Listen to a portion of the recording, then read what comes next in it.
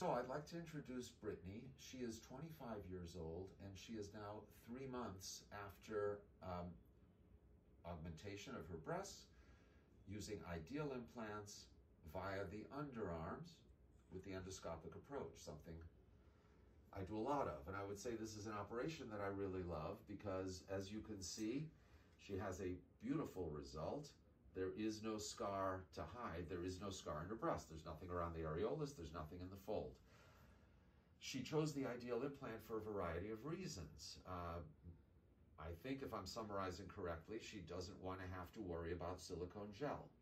She doesn't have to worry about monitoring her breast for rupture because if one of these implants fails and leaks, it's leaking salt water, which is absorbed by her body, and she'll know that right away by looking in the mirror. So she doesn't need to think about MRIs or ultrasounds. This implant has the lowest rupture rate in the industry. And furthermore, if this implant were to rupture, were to fail, it's a matter of simply removing it and replacing it. She doesn't need removal of capsule. She doesn't need removal of scar tissue that's full of gooey silicone because there is no gooey silicone gel at all. Now, you can see, and, and, and, and you see her pre-op photos that show that she's quite lean. Nonetheless, this ideal implant doesn't have the problems of the traditional saline implant. You don't see any ripples. She's beautifully soft. And the feel is a very, very natural feel. It doesn't bounce back as fast as a traditional saline because, and that's part of the whole invention of the ideal implant, there's baffling uh, layers inside that make the flow of saline slower.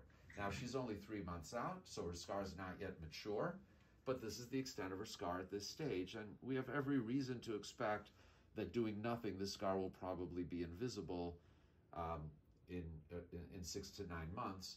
Um, I think she's going to have it treated uh, with a laser to get the pink out even sooner, but you can see it's all done through here.